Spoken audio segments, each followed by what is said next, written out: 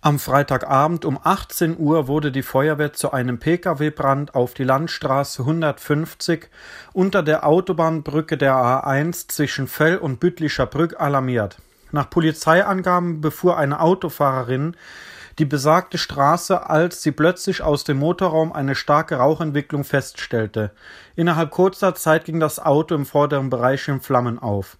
Die Fahrerin konnte sich in letzter Minute rechtzeitig aus ihrem Auto befreien.